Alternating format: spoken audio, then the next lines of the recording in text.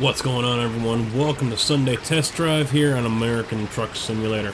Now, as I promised on Wednesday, I'm doing the 579. And I've said before, I'm not going to do a truck unless it's got some goodies to come along with it that really changes the truck as a whole. And I have one of those changes. It's from Kentucky Boy 1986. It's on the Steam Workshop as well as inside my Google Docs spreadsheet. And it's the Peterbilt 579 Edits. And basically what it does is it adds a slew of new parts for you, and here is the example. You cannot get this layout on your own with a normal SCS truck. Stacks right there behind the door, no skirt, the fenders, the different visors, as well as a different chrome fender. You cannot get those options with the normal edit. And it really allows you to customize the truck just a little bit more to where you didn't have that before. Now, the paint I'm also rocking today on this, I would normally keep for a Sunday test drive, but I wanted to talk about it because I also wanted to talk about the company. And this is a paint job that I actually did myself. There are two other paint jobs out here for TMC trucking, and one is from Pauly, and I don't remember who the other one's from, but it is found online on like modsat.com or whatever it is. But the main problem is, for anyone that knows TMC trucking, that right there on the back, destination excellence. That is on the back of all their cabs, right above that cabinet headache headache rack. So those trucks didn't have that. One had TMC right across the back, and the other one didn't have anything. To me, that's not correct. It's incorrect. It's not done right. So I took it, got the template, got the, uh, the logos and everything, found trucks online to model this after, and thankfully, Peer Kentucky Boys Peterbilt mod here really helped finish this off because stock SCS you can't get no skirts. You don't get a setup like this. And this is exactly the same setup that you will see on a TMC truck. Now, one problem I couldn't copy, the logo, TMC. As of late, they've been going to more of a reflective color style. So you see that yellowish gold or the brownish gold there for the TMC, as well as the numbers as well. That's more of a reflective tape paint scheme now when it comes to the stickers, to the to the to the logos. That's not something I could replicate. So I kept with what the regular version is. I know their trucks still have that, so you know it, it's fine. It'll, it'll work. It does its job. So that's the one thing I could that is not keeping this true to form to what a TMC truck looks like. So other than that, I really love how this truck looks. Now there is a Peterbilt 389 version of this out there, and I plan on skinning that one as well. So maybe actually I will use that for my uh, quick trip later on this week, once I get to work on that template and do that one. But uh, for now, we'll roll with the 579. The package here is great. I love the way it looks, along with the skin. It just really sets it off. So, unfortunately, I do not have a trailer that is uh, labeled TMC. There's R on the back there where it says Fontaine. It'll usually say TMC. I don't know if they use Fontaine Phantoms, but uh, I think they use Benton trailers. But, anyway, let's get to what we're hauling here today, which is spare parts. And that is heading off to Flagstaff. I am currently down here in Phoenix, so it's not a very long run. It's going to be basically just going, oh, that's actually outside of Flagstaff. So yeah, that's going to be a really short run going over to HMS.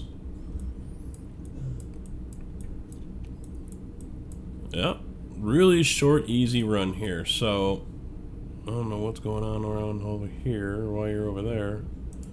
I'm over here now. That was odd.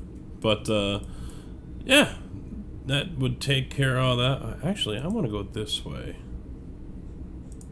Close that out, yeah. That'll work. Alright. So, let's get on the road here. I've got 6 hours and 19 minutes to do it. I got to sleep in 7. and it's going to take me 5 hours 46 minutes.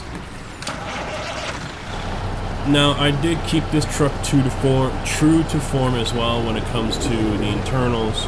Uh, normally they have a CAT C15 with 475 horsepower or a Cummins ISX 15.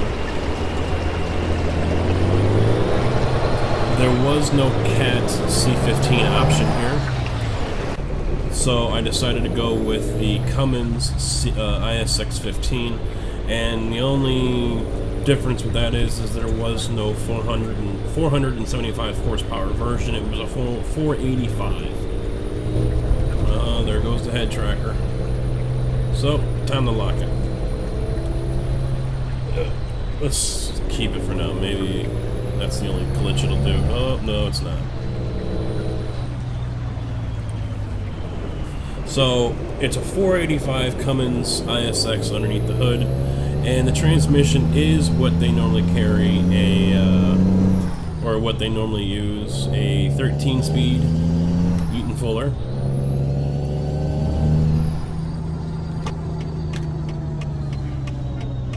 Now I thought I used I thought I selected green dials here but apparently I, it's not going to work. I do have another option here for green glow uh, icons but uh, apparently it wants to stick with the baby blue, or yeah, I guess it is the baby blue.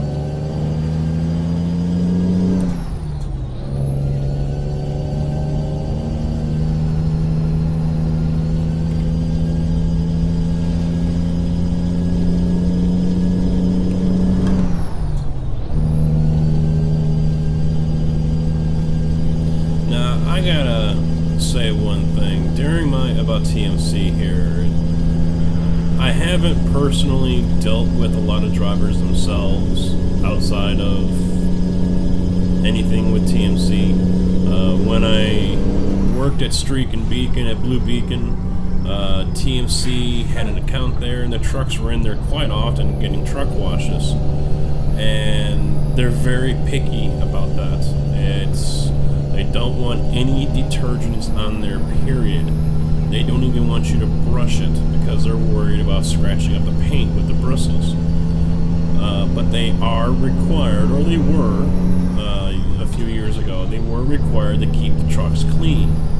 And I had a driver actually tell me that they were warned that they would get in trouble if the trucks were spotted as being dirty. So, uh, it was a normal practice, and maybe it still is, for these guys to clean these trucks often. And I really have not seen any of these trucks in any kind of bad condition. And I used to go past their training yard out in Iowa, just outside Des Moines. They're out. They're out. They say they're out of Des Moines, but really they're just north of Des Moines, uh, Ankeny or, or something like that. Uh, it's a northern suburb and their training center is just outside of, just to the north of Des Moines there, and I would pass them going to one of my Valvoline customers, and never really did I ever see a poor looking truck. So they keep care, they keep good care of their equipment, and I have yet to see or hear of any drivers talking negatively about the company as well. So it would lead me to believe that they take care of their drivers. Uh, looking at their website, it does reflect that, that they take care of their drivers, they take care of their equipment. Image is everything for them. So, you know, not only do they want their people happy uh, with what they're doing, uh, they, they want to make sure they're well taken care of. And unfortunately, that's not a, a, business practice that is modeled by everyone these days. But it, it was very nice to see, and uh, these trucks, everything uh, from making sure they're clean to the loads that they carry that are tarped, uh, nicely done. Never did I see a loose tarp flapping around on one of their trailers. So they, they take their time, they do everything right.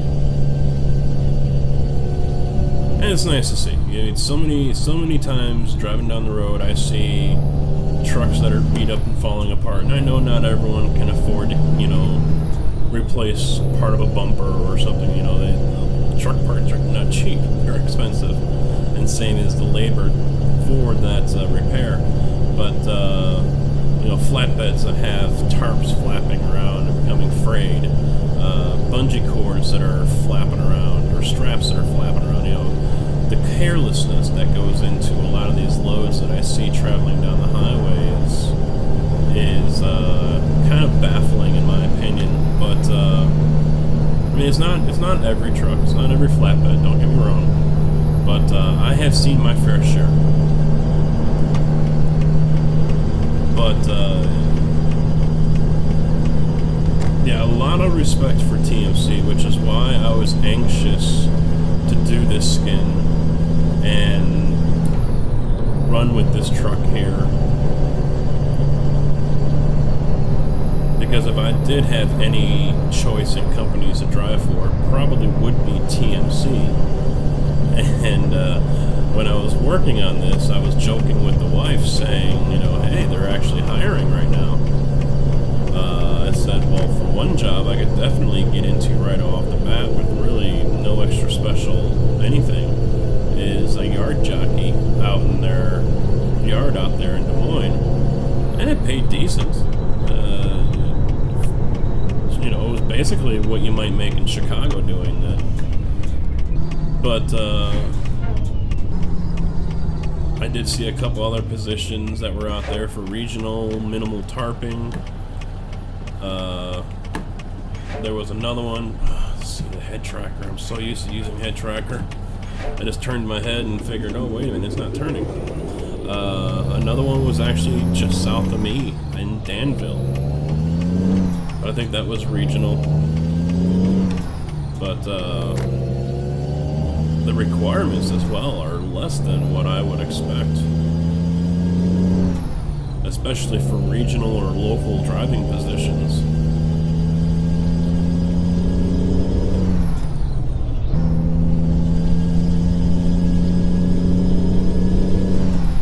And also looking at their website, I see that they are cycling through all new equipment, so everyone, they're selling off all their Peterbilt 379s, and everyone's getting brand new Peterbilt 579s. I'm sure the 589s will remain in service for a little while longer. I did not see any for sale on their equipment page, but uh,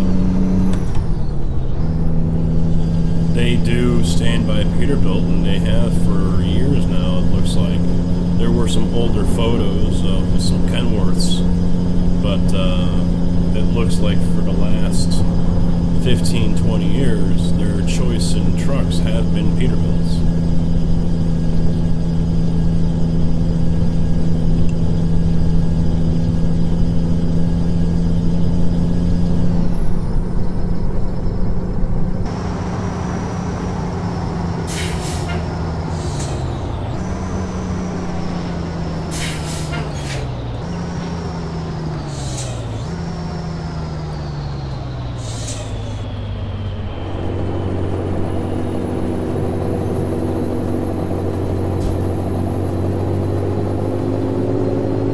Yeah, I should have downshifted one more time there. Now, the engine and sound pack I have on here, because obviously this does not sound like a stock Cummins ISX 15. This is part of the Real Engines and Sounds mod pack that is also found on Steam. So if you don't have that one, check it out.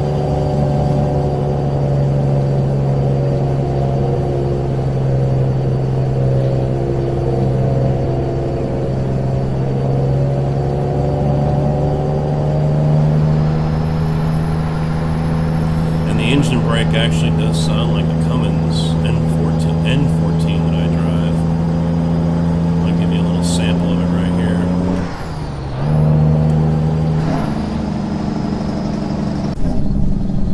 Yeah, it just sounds like the Peterbilt one, so it looks like for the Cummins wise engines that uh,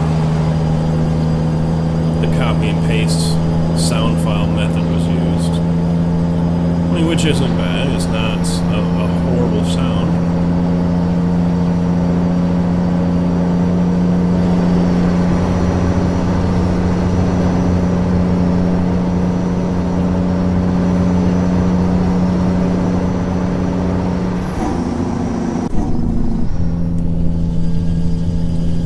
Get rid of that engine brake for a little bit there. Don't really need it. Although the trucks are equipped with that. And speaking of other trucks, I happened to come across someone shared on uh, Viper's site. Um, Peterbilt Steve. He's a Peterbilt dealer. I didn't catch from where he's at, but he makes YouTube videos of all the trucks that he has for sale.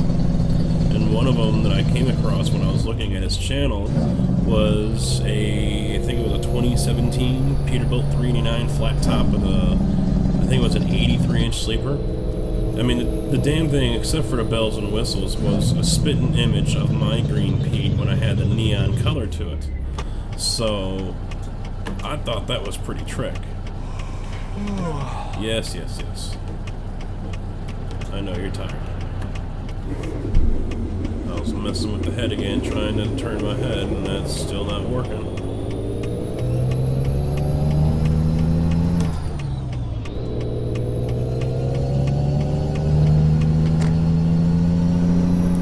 Alright, so where they're gonna have me park this thing now? This is one of my least favorite places to park. And of course, it's going to be all the way over the. Oh no! I forgot this. Uh, in this profile, I don't have advanced parking.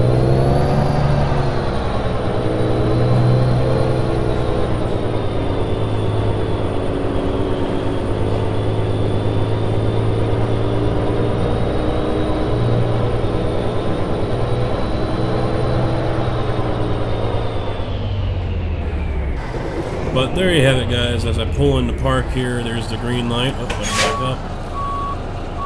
There is the TMC Peterbilt 579 edit paint job.